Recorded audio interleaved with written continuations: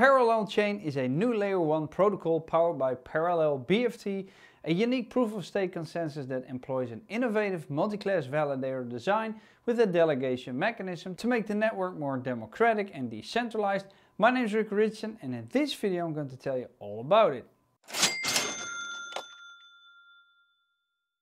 Since its birth in 2018, Parallel Chain has been a permissioned blockchain platform that powers high-performance enterprise-grade applications with existing use cases in eKYC, tokenization, company data, security, and supply chain management, and built from the ground up, Parallel Chain was designed for commercial and business adoption. Its unique features have enabled companies to leverage blockchain technology without compromising data privacy and the compliance of their business. And as the private Parallel Chain gained momentum, the team began to build the public network in early 2021. And the two combined will eventually lead to a scalable, secure, and fully interoperable blockchain ecosystem for both business and DeFi users. The Parallel Chain team wants to revolutionize the blockchain space in three phases. These phases run from 2018 to beyond this year. And in the first phase, it was a high performance private blockchain platform with tested and proven speed of 120,000 transactions per second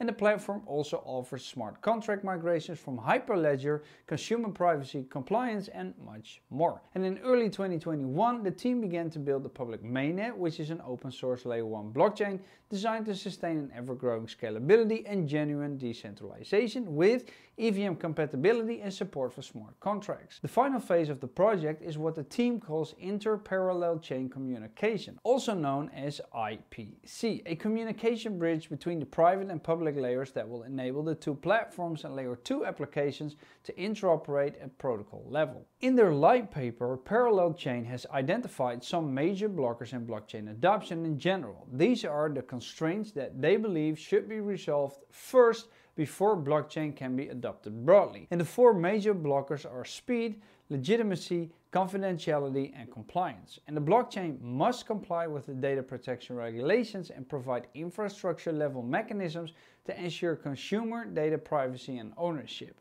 And being fast is also one of the things projects try to excel in when you compare them to others because they want to offer more than just a few thousand transactions per second. Cryptocurrency hasn't been recognized as a legal payment yet, with the exception of El Salvador at the time of this recording and others following, but it's still a major blocker before enterprises will move their businesses to the blockchain. Business data is confidential as well and privacy is non-negotiable for enterprises and they will never put their data into public networks.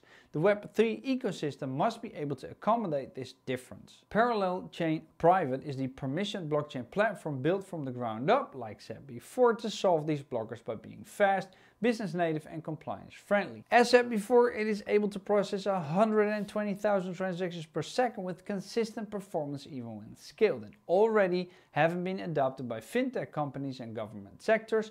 The private parallel chain is also a technology partner of IBM AWS and many others. And last but not least, it's the only blockchain today that is compatible with data privacy principles like the EU GDPR and all of these can be read in the light paper as well, which I'll link down below. The mainnet use case consists of four major elements and these are NFTs, games, DEX trading and the metaverse. Now, most of you already know what NFTs, games and DEX trading is, but the metaverse is still pretty new, so let me quickly run you through it. The metaverse is a portmanteau combining the prefix meta and the word universe and is generally used to describe a virtual universe accessed by virtual reality. Now in recent years virtual reality has made its way from massive bulky headsets tethered to your PC to standalone devices and now goggles. And as the lenses and screens improve, so does the vision of the road ahead. Facebook's pivot into the metaverse is a power play that leverages their earlier investment in Oculus,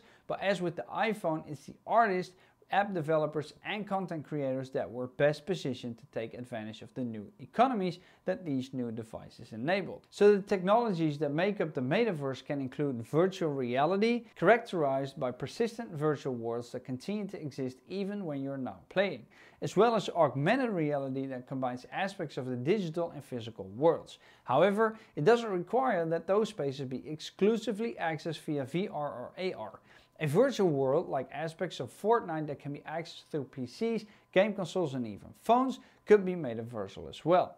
And with protocol level interoperability between the public and private networks, Parallel Chain enables value transfer between the physical world and the metaverse facilitated by the Parallel wallet. And with WASM and EVM compatibility, users can mint, list and trade NFTs in different blockchain networks on Parallel Chain. And for gamers, Parallel Chain offers developers an advanced smart contract platform to create high performance games. Parallel Chain also uses optimistic rollups to achieve high scalability at infrastructure levels to power competitive DEX platforms with high transaction speeds and low fees. So they are represented and offering solutions in the four most popular things in blockchain ecosystem. Okay, so that's a lot to take in. So let's take a small break to thank our sponsor. My friends over at SolrDAO have asked me to create this video for them after success successfully closing a private round with Parallel Chain.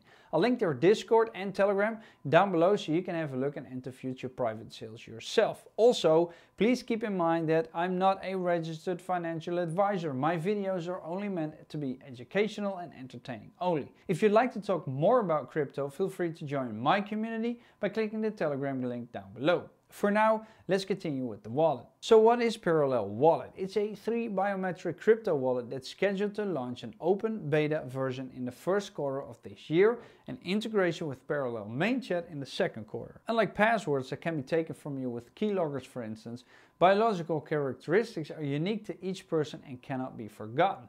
The AI-powered biometric recognition technology of Parallel Chain combines anti-spoofing facial recognition, voice recognition and palm recognition. This enables for a faster password-free authentication with stronger security. And the great thing about this is that you don't need sophisticated equipment, but a regular smartphone device will be enough. This makes it very accessible for everyone. Unfortunately, I can't show you the demo right now, but Follow their socials to stay up to date on the latest developments regarding their wallet and their progress. The token of Parallel Chain is called XPLL and it's a utility token with an initial supply of 250 million and is inflationary. The team and advisors take up a total of 14% and you know I always look for that, together with the vesting schedule to determine whether or not if a team is in it for the long run.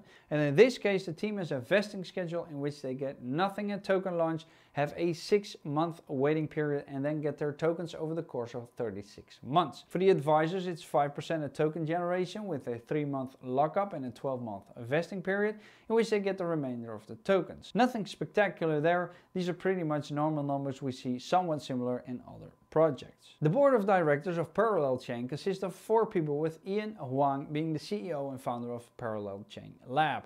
The management consists of five people, they have seven advisors and four technology strategists. Their individual profiles do not have a hyperlink to the LinkedIn pages, but Parallel Chain itself does have a LinkedIn. The roadmap runs till the end of this year and currently they are in the testnet phase. They have divided the roadmap into two parts, the first one being the enterprise roadmap and the second one being the mainnet one. The wallet and voice recognition are in development and in the third quarter of this year they will activate their mainnet node and in the final quarter they will launch their mainnet and open delegation. So all in all it's a very busy schedule and year for the team at Parallel Chain. A link to the roadmap as well as their team can be found in the description down below. That way you can do some research yourself and investigate the team and roadmap. And that's it for this video. Are you interested in Parallel Chain? Let us know in the comment section down below. For now, my name is Rico Richard. Thank you for watching and I'll see you next time. Doei!